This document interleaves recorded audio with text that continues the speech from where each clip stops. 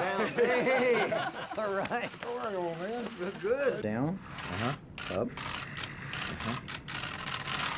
Isn't that cool? That is cool. With my right foot, I can raise it up, lower it down.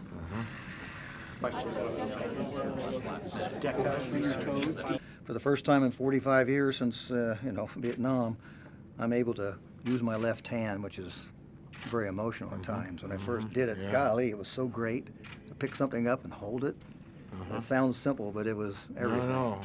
I'm flexing my wrist right now.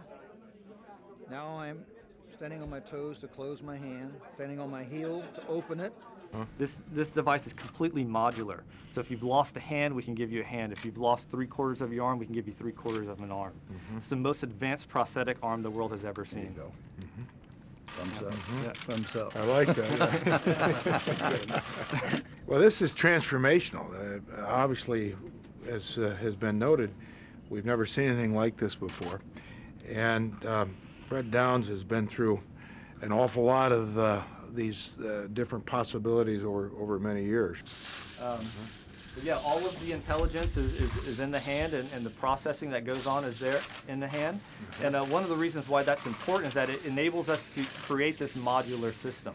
If we had distributed the, the electronics throughout the arm, we wouldn't be able to have that modular capability. The DARPA Robotics Challenge was inspired by the Fukushima disaster after the, the tsunami in Japan.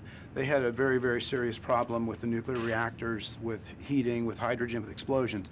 So we set up this challenge. It started with software work, and then it evolved into what was called the DARPA Robotics Challenge Trials. This robot had to do things like remove rubble, it had to turn valves, it had to put a fire hose on. This thing had to be able to get itself up and down a ladder about 10 feet, which was interesting. It would take them a long time to do that. Imagine a, a, a factory floor or a warehouse floor.